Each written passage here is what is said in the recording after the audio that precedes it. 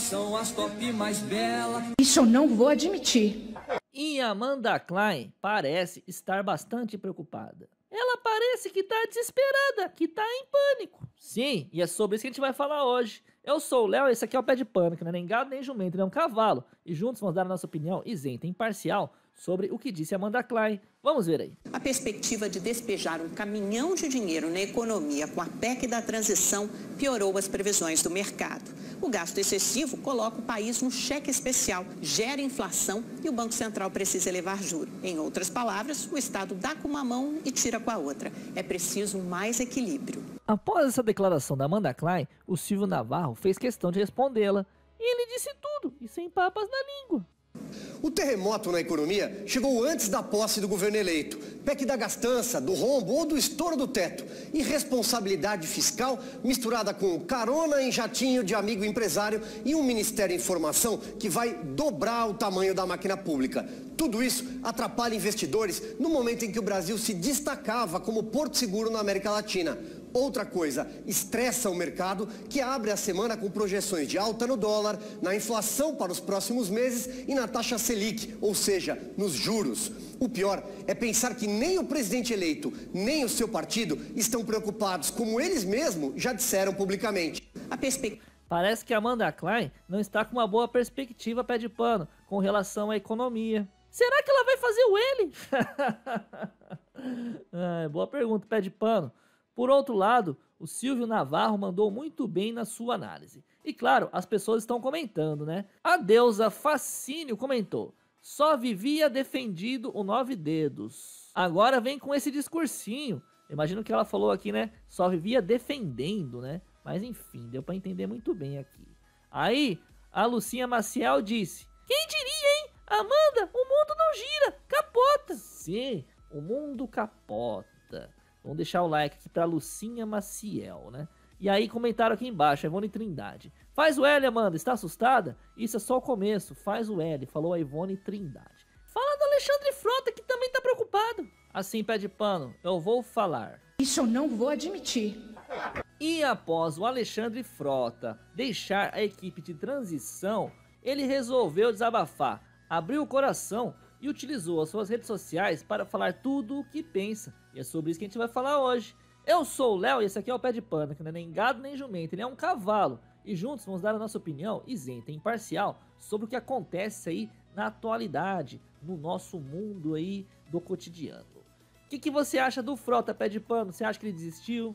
Parece que agora ele jogou a toalha. ai, ai.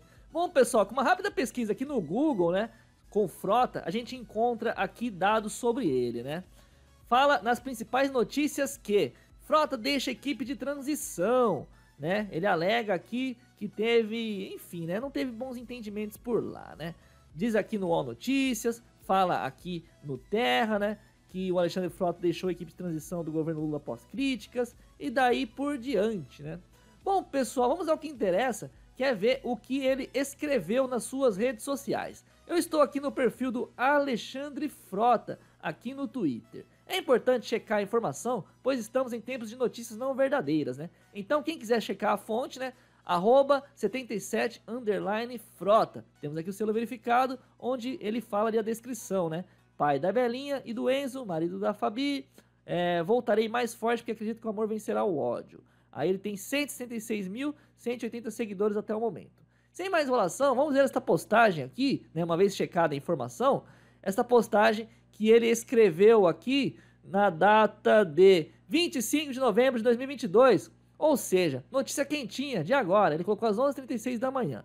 Disse o seguinte, abre aspas, Gente, eu estou tranquilo, vou tocar a vida, me desligar dessa coisa toda, já foi, já informei ao Mercadante e ao Geraldo, já me desliguei, enviei documentação de prioridades que poderá ajudá-los na reconstrução da pasta que está um caos, uma tragédia. Bolsonaro foi contra tudo.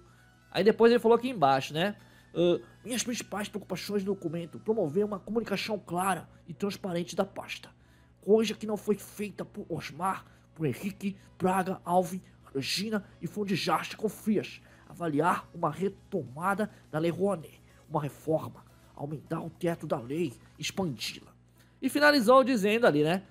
Uma outra preocupação, a Lei Paulo Gustavo vence agora em dezembro. A lei acaba. Precisamos fazer com que ela possa ser estendida para 2023. O dinheiro está lá e não foi usado. Temos que estender para isso. Já assinei junto com os parlamentares no projeto do Rubens Bueno. Mas a parte que mais chama a atenção é essa daqui de cima, né? Que ele fala: Gente, estou tranquilo. Vou tocar a vida, me desligar dessa coisa toda. Já foi. Enfim, disse aqui o Frota Pé de Pano. O que você achou disso tudo? O Frota fez um desabafo. Sim, e disse tudo o que pensa. Mas e você que assiste esse vídeo? Qual a sua opinião sobre o que disse o Alexandre Frota? Deixe sua opinião nos comentários, quero saber. Também é muito importante você se inscrever aqui no canal para mais vídeos como este aqui. E lembre-se, pessoal, se todo mundo pode checar, então a notícia é verdadeira. Caso você queira checar o que disse o Frota, venha no Twitter, arroba 77 Frota, e olhe sempre o selo verificado. Mostra o que o Randolfo Rodrigues falou sobre anulação. Sim, pé de pano, eu vou mostrar. Isso eu não vou admitir. E o Randolph Rodrigues parece que está bastante preocupado. Ele desabafou em suas redes sociais. Sim, pé de pano, e é sobre isso que a gente vai falar hoje. Eu sou o Léo esse aqui é o Pé de Pano, que não é nem gado nem jumento, ele é um cavalo. E juntos vamos dar a nossa opinião isenta e imparcial sobre o que acontece no mundo da atualidade aí, né? Bom, pessoal, primeiro temos que checar a fonte, né? Antes de tudo, então estou aqui no perfil oficial do Randolph Rodrigues, temos aqui o selo verificado, né? E qualquer um pode checar no Twitter, a rede social dele. Quem quiser procurar, procure por arroba RandolphAP. No momento, ele conta com 848.996 seguidores. E ele diz ali, líder da oposição no Senado, eleito pela Rede de Sustentabilidade do Amapá, tem mestrado em políticas públicas, foi deputado estadual duas vezes. É importante checar a fonte, né? Porque estamos em notícias, em tempos de notícias não verdadeiras, então é importante checar. Uma vez checado, né, vamos analisar a fala dele é, referente à reunião ontem do Valdemar que ele disse o seguinte, pessoal. Vamos dar uma olhada ali. Postagem na data de 22 de novembro de 2022, né? 8h51 da noite. Abre aspas. Vamos deixar claro, a ação do PL é inepta na origem e só tem o objetivo de tumultuar o processo eleitoral e a democracia brasileira.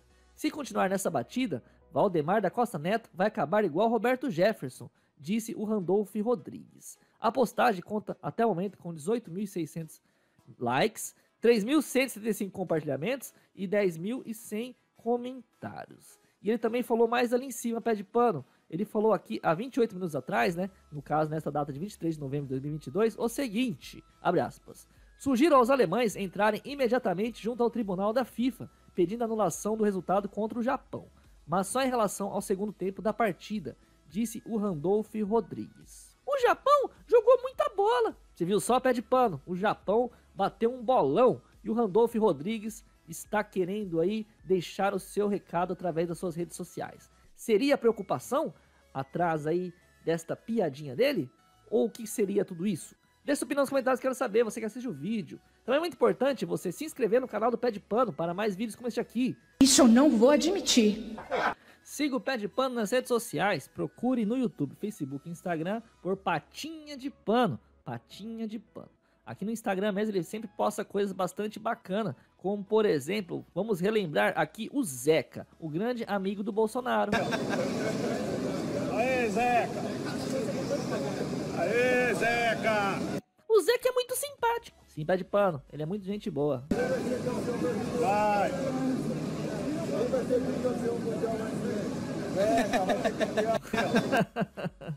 Esse Bolsonaro é muito gente boa, né? Pé de pano. Também tem a picanha do Lula. Sim, pé de pano. Olha lá, pé de pano. A picanha do Lula, hein? O pessoal tá aqui só observando tudo isso. Tá faltando o que mais aqui? A cervejinha. Então, pessoal, siga o Pé de Pano nas redes sociais. Aqui ele tá sempre postando coisas bastante bacanas, como por exemplo, as mulheres de direita. De direita são as top mais belas. Isso eu não vou admitir. A lá, Pé de Pano, diz que as minas de direita são as top mais belas. Enquanto as de esquerda tem mais pelo que cadela. Essa música é muito legal. Sim, Pé de Pano, essa música é muito legal. Então siga o Pé de Pano nas redes sociais. Isso eu não vou admitir. Tamo junto. Forte abraço. Daqui a pouco a gente tá de volta. Acabou.